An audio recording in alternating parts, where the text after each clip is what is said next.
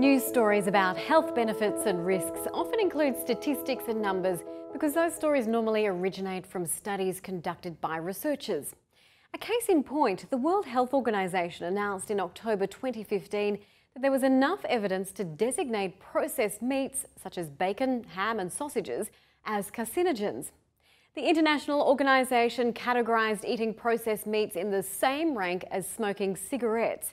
And a WHO scientist said eating 50 grams of processed meat daily increases the chance of developing colorectal cancer by 18%.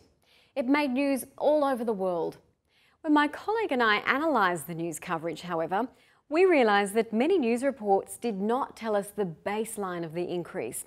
The risk was not 18%, but it goes up by 18% from the baseline.